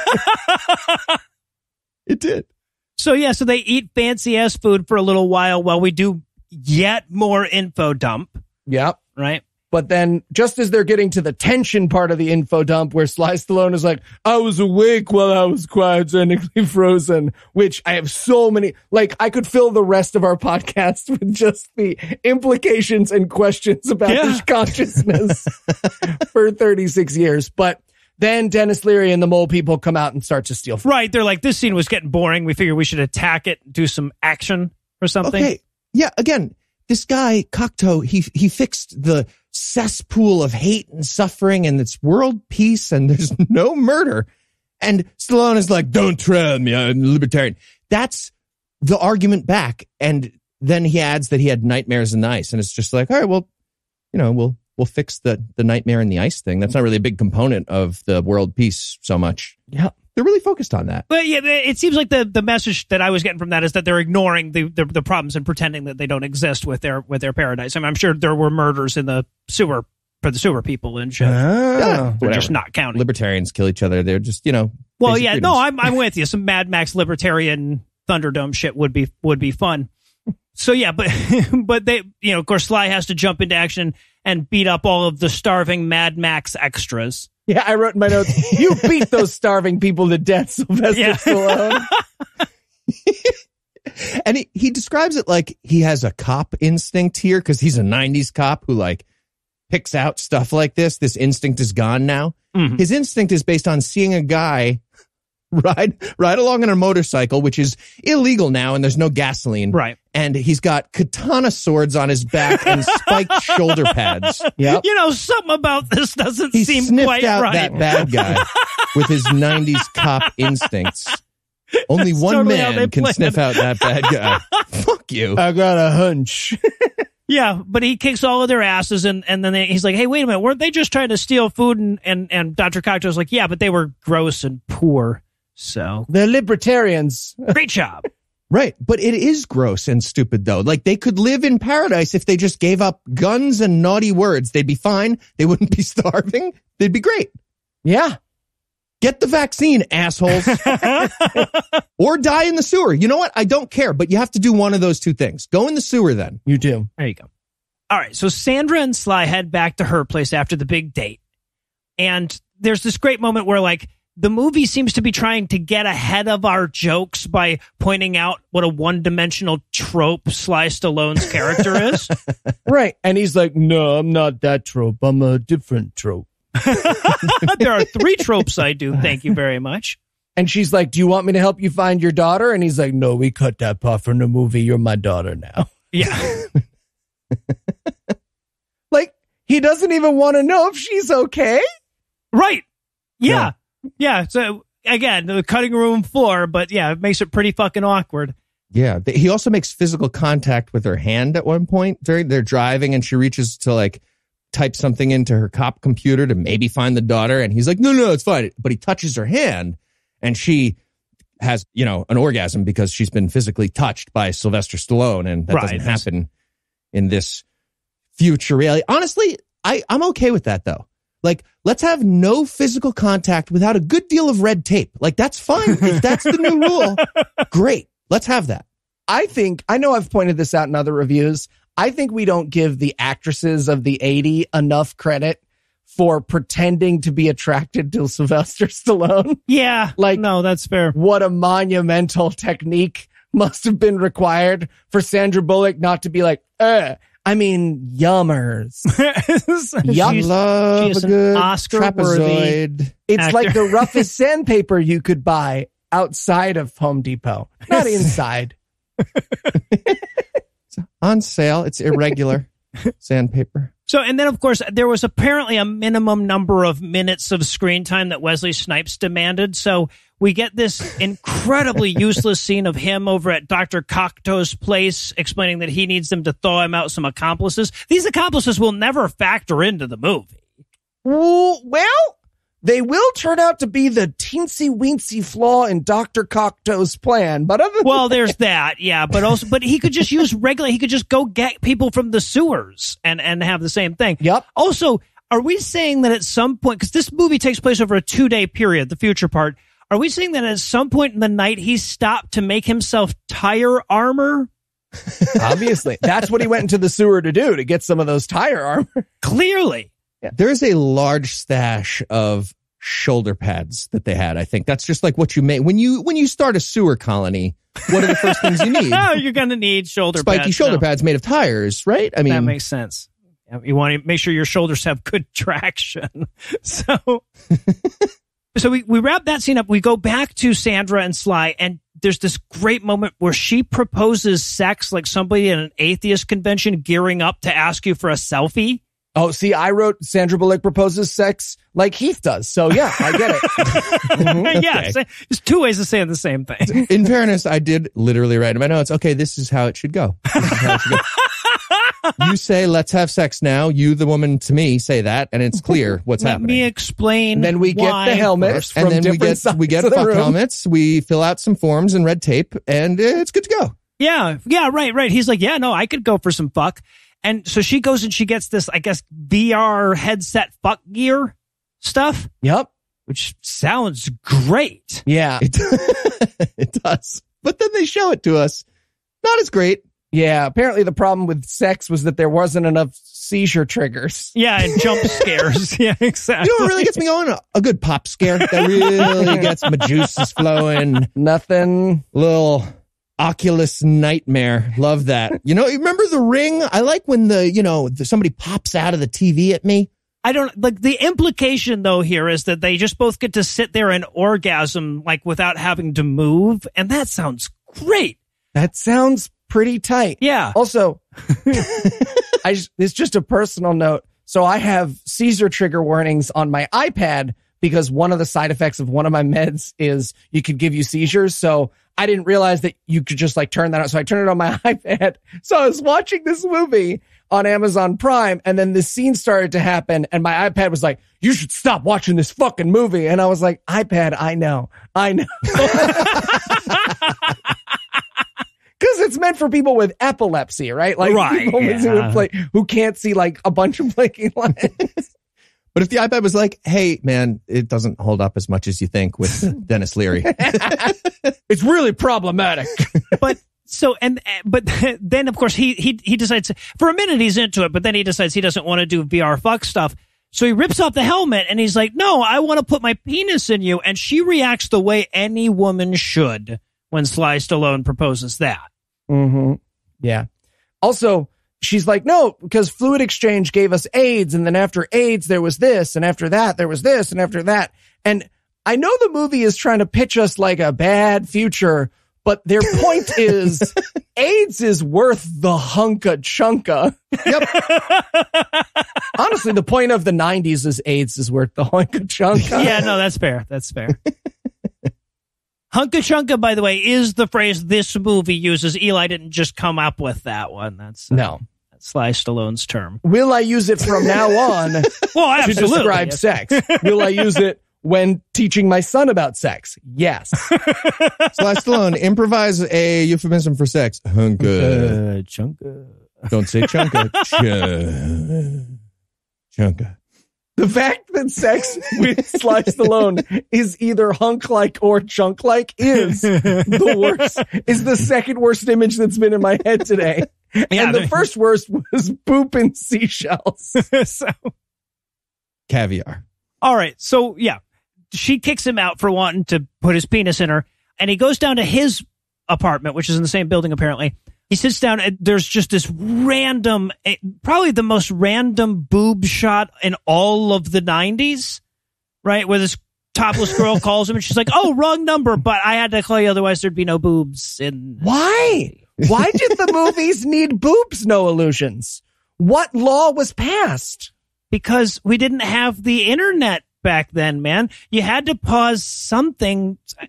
Anyways, you don't know, man. You don't know the fucking struggle. We had dial up and we liked it. Both directions, something. Put the toaster on its side. Come on, man. But of course, this is where he sees the video surveillance footage of Wesley Snipes being unable to shoot Dr. Cocteau. And so he knows something's up. Yeah. Oh, yeah. He's watching this video and he's like, in his head, it looks like a cryogenic hypnotism to make it so Phoenix isn't physically capable of shooting. it's something like that, yeah. Stallone acted that silently with his face. That's which how crazy. He is. All right, well, I'll tell you what. This movie's about to take the fuck off, and when it does, there'll be no stopping it. So, if we want another break, this is the best time to take it. First, though, I have to give Act 3 the hard sell. Will Eli and Heath find anything wrong with this movie? Will they have to continue to pretend it's about libertarianism and critical race theory to make their bits work? Why am I even on this episode? Find out the answers to two of these questions and more when we return for the white knuckle conclusion of Demolition Man.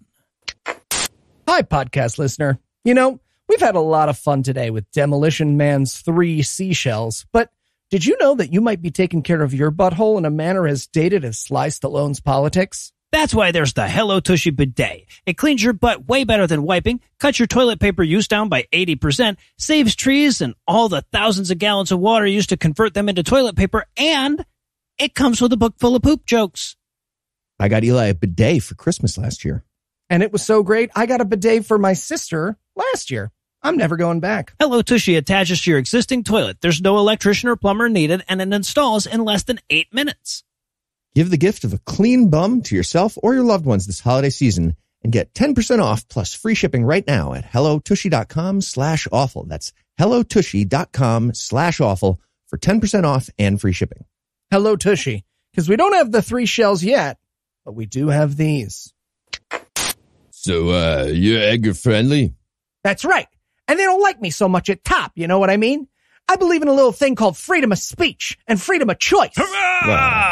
I want to choose between the bacon cheese fries and the double steak burger with extra mayo. Hurrah! Yeah. I want to make my own decisions about agreed upon medical treatments and scientific truths.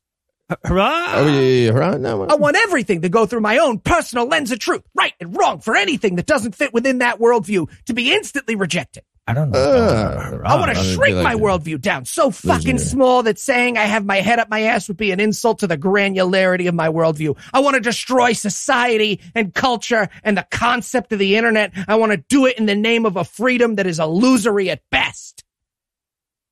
Uh, uh, fucking for America. Hurrah! It's red, white, and blue. Hurrah! None of us are vaccinated. Nah.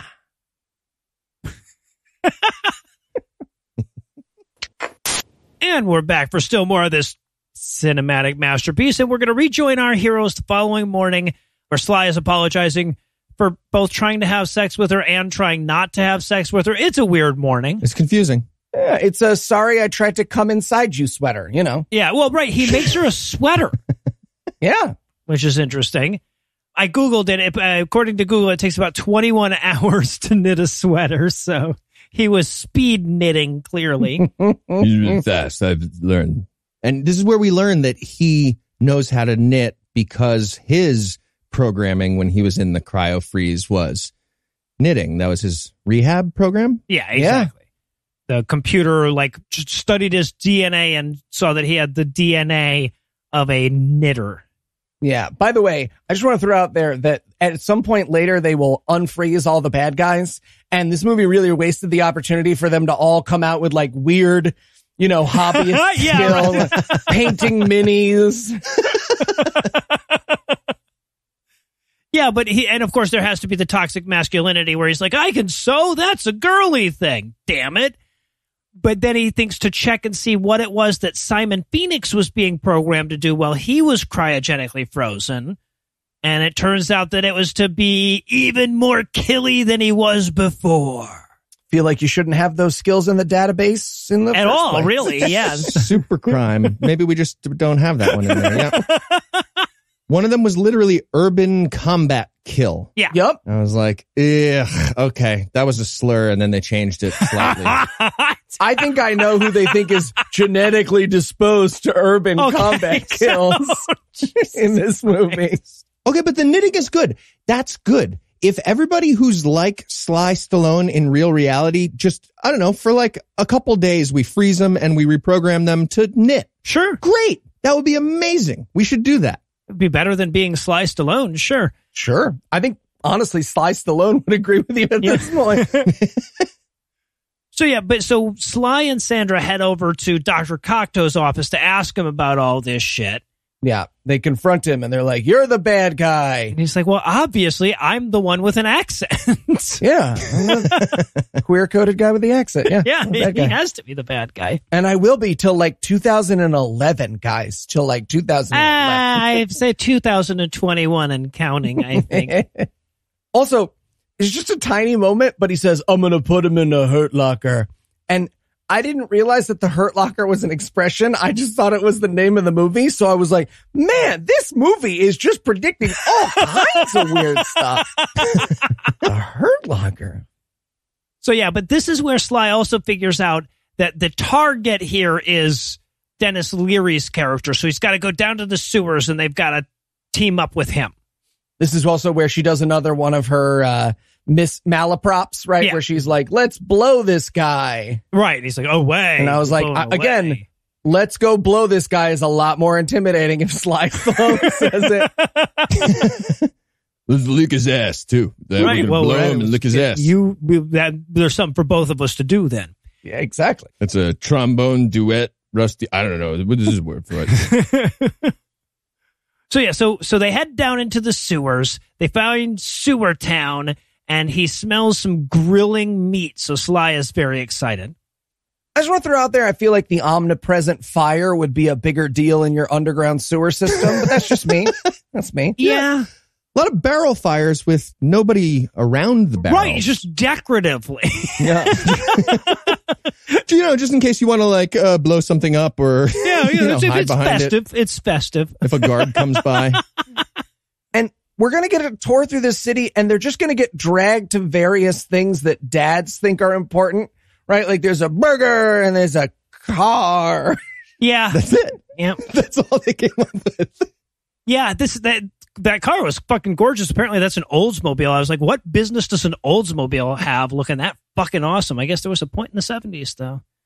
Again, the camera pans over to Noah. Yeah. You could still kill Denis Leary, but that's a cool car. He's in I'm this okay scene. Actually, it'd be very easy to do. Uh, fun fact about another thing that is in this scene. Jack Black Yeah. is an extra in this scene. uncredited in this scene as well. Yep. And then Denis Leary comes on. Now, this is the first time we've really seen Denis Leary, and this is where he does his stupid fucking bit.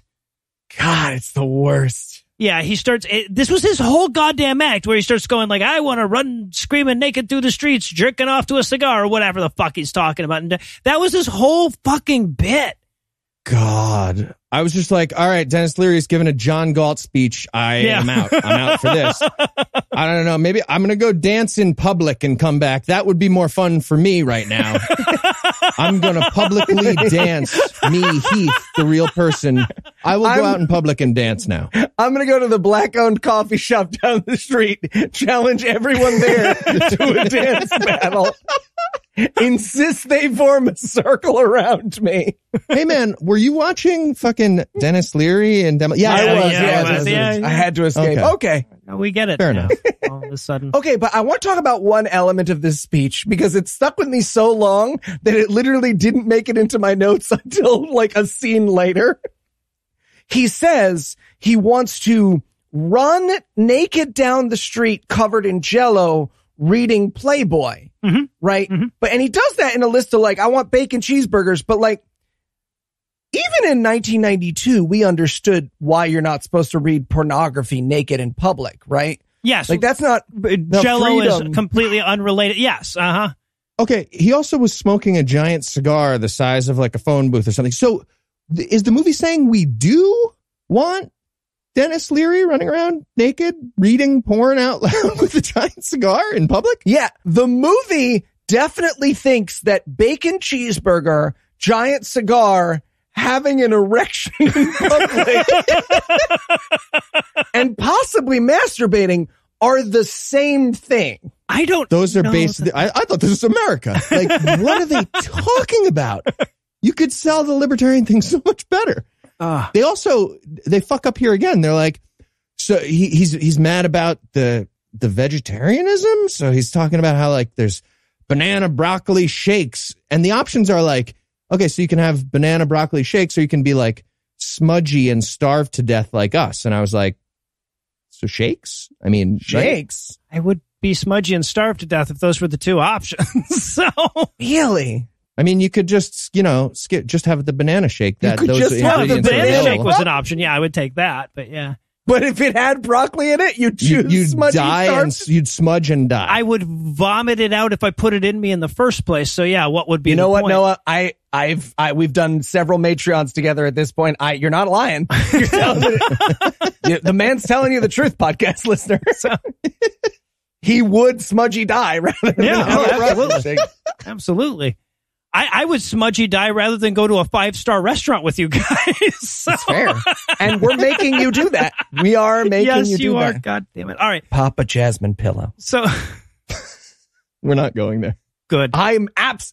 This is what I I'm want. not going there. All right. So You have to do it or I'll kill myself. meanwhile, I'll smudgy kill myself. All right. So meanwhile, Wesley Snipes is chatting with his thought out bad guy accomplices. Apparently, they thought out a couple of hot chicks to be in the background. This I'm so Yep. glad you pointed that. Did they unfreeze the girl groupies or did they find them? it makes the best, very little sense.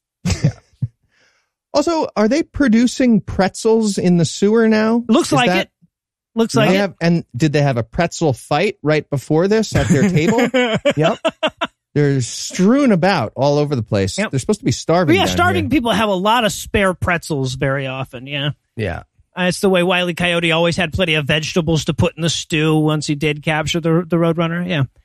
Oh, right, because salt is illegal above ground. because Oh, they didn't realize that. No, salt is not unhealthy for you. It's unhealthy in certain amounts. You do need salt in your fucking body. Nice. Yeah.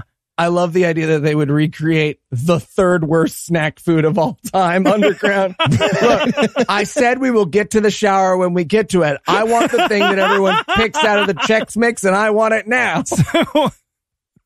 Did we make a graffiti machine yet? Okay.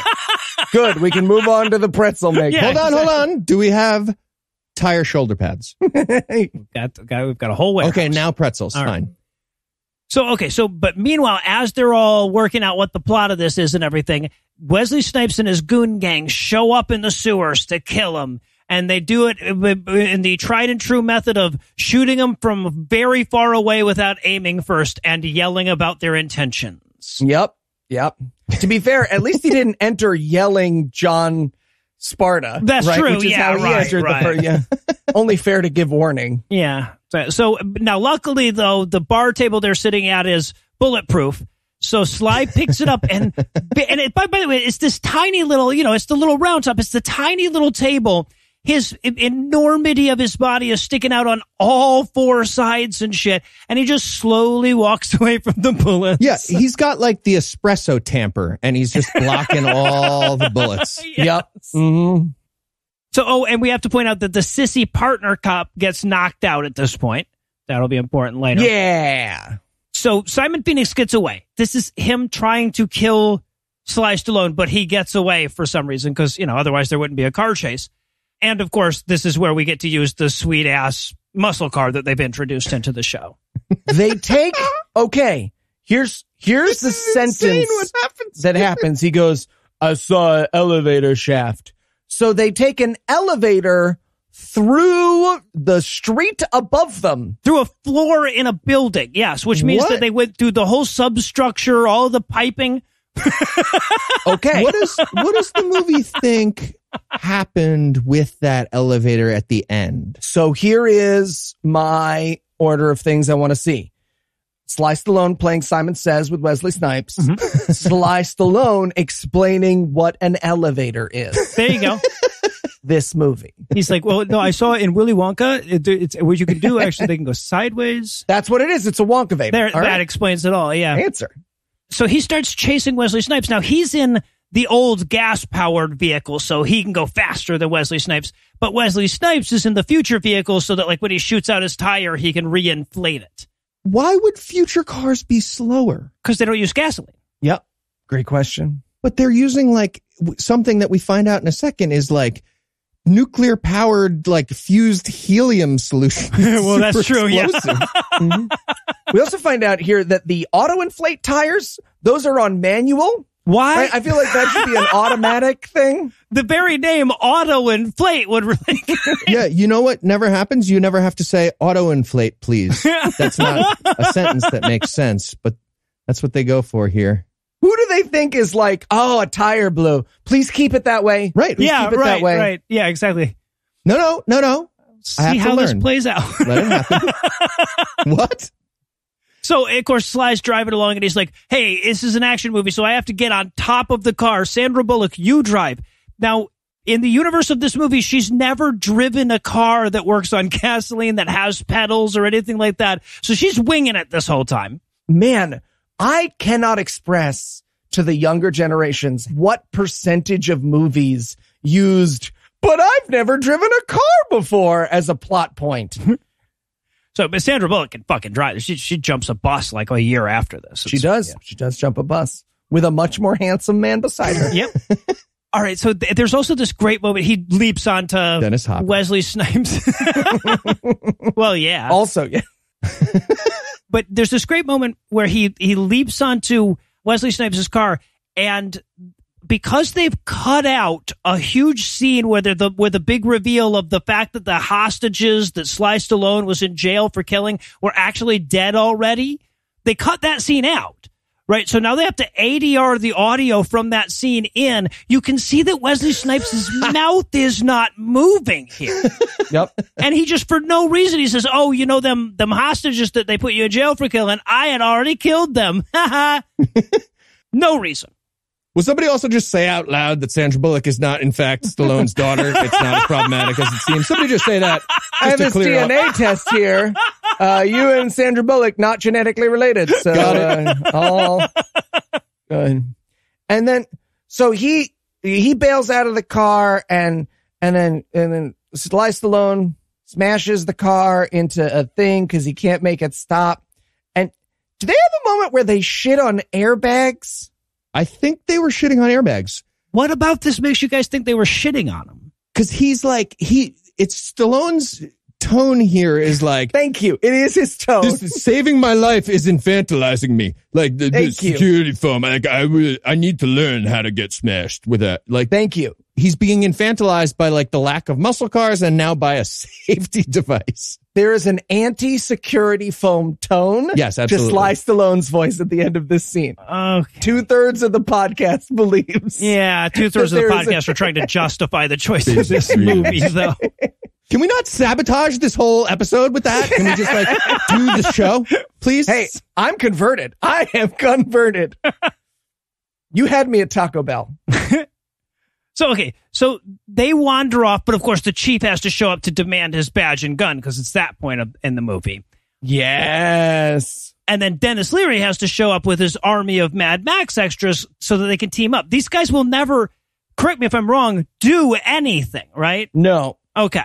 They just have to have an army of people agree to join up with him at some point because that's in the paint by numbers. Mm-hmm. Yep. And Benjamin Bratt, right? So, so Lieutenant Huxley, her partner cop who got knocked out earlier, he's Mm-hmm. part of the mole people now. Yes. Yeah. Like so that day he got converted to a mole person. So apparently they smudge you that day. Right, You yeah. get in and then they're like smudge you right up. Part of the initiation. And he's got shoulder pads. I'll say this though. I feel like that's realistic. I feel like you don't hang out with Denis Leary for 45 minutes without getting smudgy. That's true. No, that's probably fair. Um, so, oh, and then we have to cut back over to Wesley Snipes and Dr. Cocteau so that Dr. Cocteau can realize the, the flaw in his plan. Which is that the guys that he unfroze for Wesley Snipes can shoot him. Feel like you would have seen that coming. You took over society after a major earthquake and stopped all murder, but you didn't think of, but what about other people shooting you? Yeah. Like you could passively let the trolley run over him. Like there's all different ways to not actively kill somebody. right. You yeah, could not get vaccinated. There's so many ways. But yeah, so they kill him, and this is where they see Sly Stallone showing up. So he sends his goons out after him. Yes. And by the way, the goon does the same thing where he's got him like dead to rights. He leaps off of something from above him and he yells on the way down. I'm like, that's just bad timing for your war crime. man. Warning system. yep. Also, for some reason, Sandra Bullock got really good at karate in between these last two scenes. She did. Yes, it, it's uh, it's okay though because she spins around a lot, so it's acceptable. And also, what, what we're learning here is her big turning point as a character is becoming a cop who's more violent successfully. Yes. That's that's a win Yep. for her. There's this great moment. She's like, I killed a man with my own hands. And Sly's like, yep. And she's like, I'm over it now. I was just for a minute there, though. That was really bothering. no, no, you're gonna get promoted. And she's like, it's not. We don't do that. now. We don't. Oh no, trust me, we'll always do that. we'll always do that.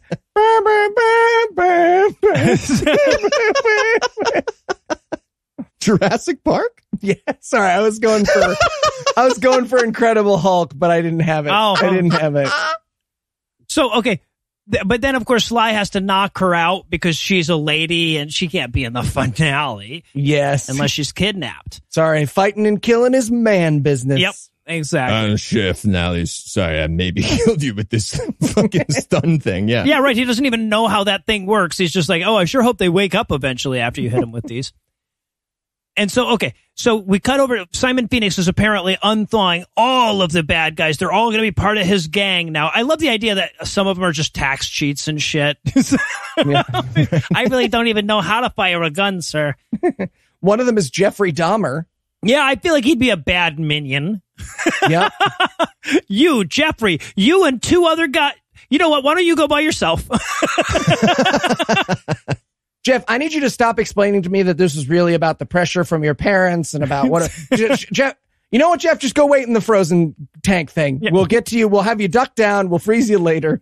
You're gonna die in a year. Really thought you were a lot more of like a rawr kind of killer. You know, it's fine, man. No, you're more of that seething. yeah. Oh, also, in case you're wondering how he gets in, Sly Stallone drives the muscle car through the door that he could have just walked through. It's not okay. It wasn't like a locked gate. no, He just drove through like a curtain, super loud, Right. smashing through for no reason in a car. A bead curtain. Yeah. hmm just walk in. He's hitting the horn and it's yelling Phoenix out of the car. Yeah. Some- Giving him a countdown. And then he gets out of the car and then Phoenix gets him with a giant mechanical claw. this was the best. It's he sneaks up on Sylvester Stallone with a, a mechanical, like a life size, A crane game. large enough. yes, Yeah, a crane game claw large enough to pick up Sylvester Stallone. Sneaks up on him. doesn't see that coming. When he picked him up, I really wanted Sylvester Stallone to like slip out of it, and then Snipes has to put in another dollar. And I'm like, oh, this is bullshit. That actually Ah, it's caught on the ledge. is what happens. Fuck this. I love too. This is just a, a- this is a small bit, but I have to point this out. In the background of this entire fight, they're in the like cryogenic chamber area. So there's other naked frozen people behind them. And there's one guy whose ass is framed, frozen ass is framed through this entire bit. And I asked myself during this, I'm like, is that actually a naked dude that had to lay there super still the entire time? or did some prop maker have to make a passable frozen asshole? Either way, someone has an awesome story from this Yeah. movie. They tell it every day. I feel like this is an Uncle Mark prank waiting to happen. Like Uncle Mark is going to call us. Be like, yeah, I made that asshole. so I did. They said fill the scene. I filled the scene. But yeah, so he gets out of the crane.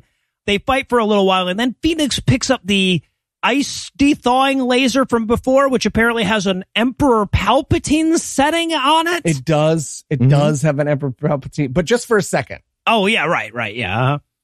This is where we get the amazing "I'll see you in hell" not moment. Not.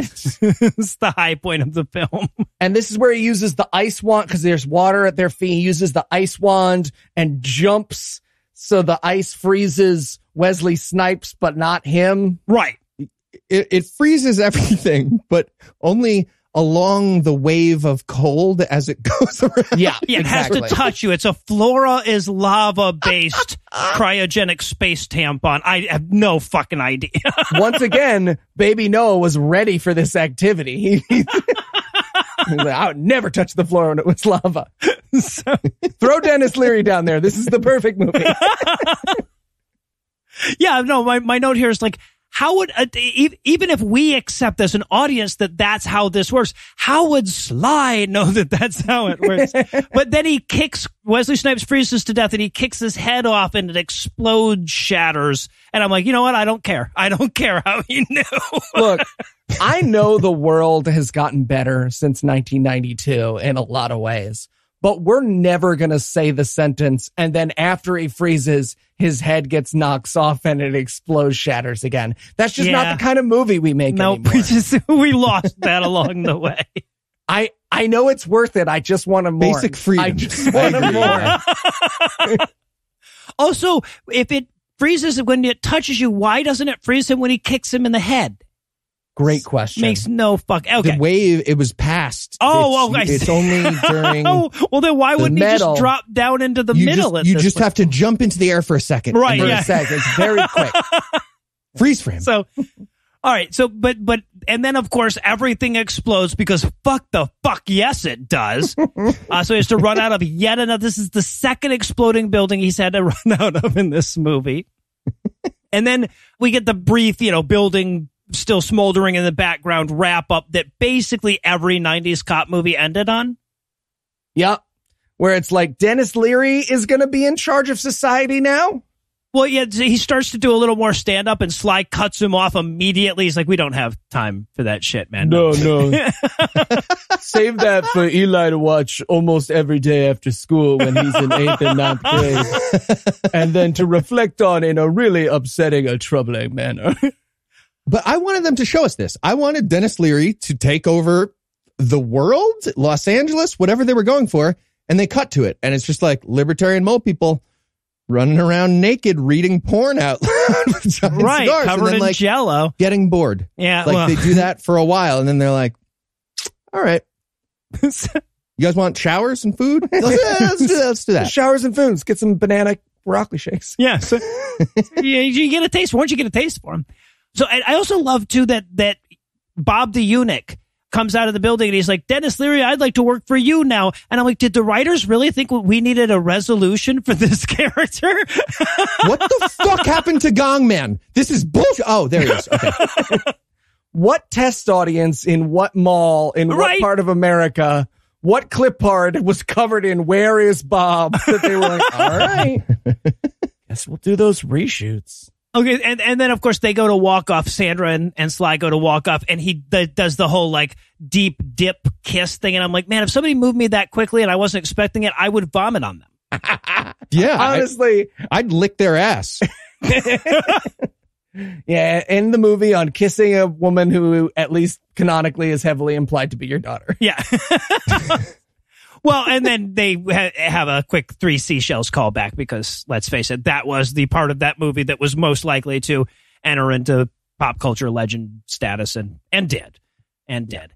Speaking of which, I have this nice buffet of crow all set out here. I figured maybe I would need it later. Any takers? Phenomenal, awesome I don't even that was- understand the premise. of I think that's I think that's all yours. No, I think you can have all the crow yourself. all right. I have. I a lot of problems in this movie. I feel like the audience is going to be on my side here. So that's going to do it for our This is what tears our audience apart. we raised No, half no, a million dollars for charity. Next week, and Noah's on Rogan talking about how Demolition Man is actually amazing. All right, so that's going to do it for our review of Demolition Man, though. It's not going to do it for the episode just yet because we still need to d- do a bad one for a change. So, Eli, tell us what's on deck. We'll be doing another selection from the Happy Science Cult, The Laws of the Universe Part Zero. All right, Lovely. that's more like it. So, with that to look forward to, we're going to bring episode 329 to a merciful close. Once again, a huge thanks to all the Patreon donors that help make the show go. If you'd like to count yourself among their ranks, you can make a per episode donation at patreon.com slash godawful and thereby earn early access to an ad free version of every episode. You can also help a ton by leaving a five star review and by sharing the show on all your various social media platforms. And if you enjoyed this show, be sure to check out our sibling shows, The Scathing Atheist, Citation Data, D&D Minus, and The Skeptocrat, available wherever podcasts live. If you have questions, comments, or cinematic suggestions, you can email godawfulmovies at gmail.com. Legal services for this podcast are provided by the law offices of P. Andrew Torres. Tim Robertson takes care of our social media. Our theme song was written and performed by Ryan Slightly of Dress on Mars, and all of the music was written and performed by our audio engineer Morgan Clark and was used with permission. Thanks again for giving us a chunk of your life this week. For Heath Enwright, Eli Bosnick, I'm Noah Lugeons. Promise to work hard to earn another chunk next week. Until then, we'll leave you with the Breakfast Club close. Warner Brothers is working on Demolition Man too. That is real. They cannot be working hard enough. Eventually, the ecstasy wore off and we realized that Rob Schneider was fucking awful. Future Los Angeles went on to have a number of murders that wasn't zero in the name of freedom. Uh, we should we should do a like a Rob Schneider movie for our Patreon bonus. oh, yes, a Schneider month. God.